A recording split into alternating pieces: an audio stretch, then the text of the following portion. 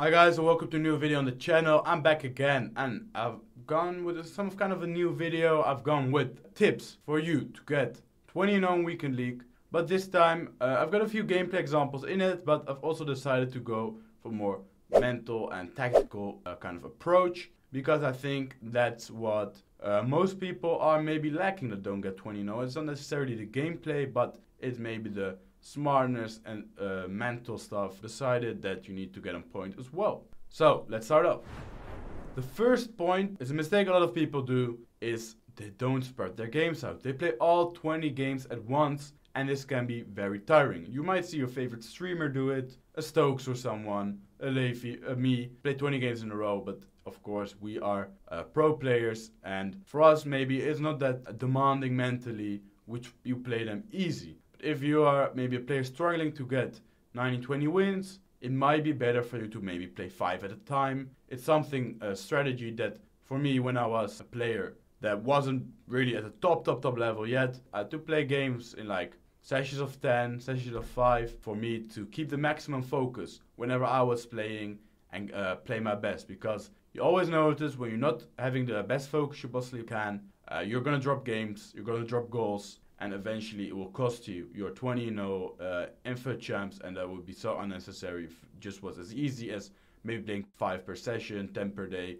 whatever works for you. Then let's start off with the team. A lot of people go into weekend league without actually having the right team. So what's important for me? Always at least 30 chemistry. Below that don't go with it. 30 chemistry is important because you always notice your team is yeah, how, how should I describe it? Feeling a bit loose when it's under 30, at least that's for me. Um, when you look at your team, you want to add multiple um, weapons. So, for example, Pink Pass Plus, a Long Ball Plus. We got one with KDB, Pink Pass with Enzo, with KDB as well, Gvardiol even. And maybe a Whip Pass in Zalewski, Aerial Plus, Sørloth, uh, Rudiger. So you want to have a bit of everything. Go with like a power shot, you got the Forlan, uh, Musiala's with the technical. So try to have a bit of diversity in your team in terms of playstyle pluses. This will also help you be more unpredictable for your opponent. And also get yourself good subs because they can be important in the end of games. Tip number three, always get yourself an attacking all out attacking formation when you're losing by one or two goals at the end of the game. I always go for 4-2-4, maybe a 3 at the back, uh, constant pressure on, 100 depth on, placed in the box on 10, direct passing, fast build up, whatever you want, go for it. You gotta risk it, otherwise you're gonna lose for sure. Put the most attacking uh, instructions and custom tactics on because you need to go for that win in order to keep a 20-0 dream alive. It's important to have one set up because let's say you press pause in a 75 minute yeah, there's a chance the ball doesn't go out of play until minute 85, and then you still only got five minutes to apply pressure. So set one up so that you can switch to it whenever you want.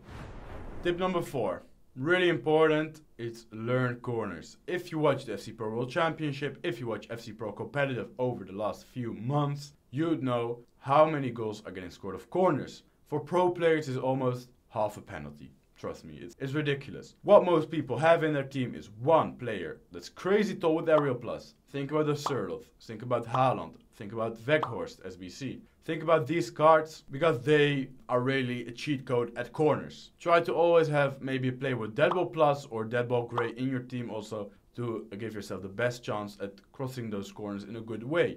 So let's take a look at the corners. KDB now, first post, don't even have to select someone, Sørloth, goal. Really easy if you look at it. Second one, again, KDB crosses it first time. Uh, Sørloth still wins the header. We get another corner. Cross in the exact same way as the first goal. Again, goal. Then we move over. Again, KDB crosses it. Sørloth, goal. It's so easy and such a cheat code, especially when your opponent doesn't move his goalkeeper. And then last but not least, time your shots green. Green timing your shots will help you massively in scoring goal scoring opportunities. So let's take a look. Sørloth from a good distance, green timed it. I guarantee you, if I don't green time that shot with Sørloth, it doesn't go in. It makes you uh, score goals from impossible angles. Again, let's see. This power shot from KDB. If it isn't green, it doesn't fly in. Trust me. You can see how much green timing uh, helps you score from angles that you weren't that you didn't think were possible. Now, again, R9, moving, finesse, distance, goal. Again, not green, not a goal, trust me. If you're struggling with scoring goals, check out our 3-4-2-1 uh, formation uh, video we've uploaded before. Check it out on the channel because that will also help you score goals. You can even uh, green time your headers, also important. I think in this case, the clip is maybe bad, but uh, green time your headers will also improve the accuracy and the power of the, the ball. So definitely train on that.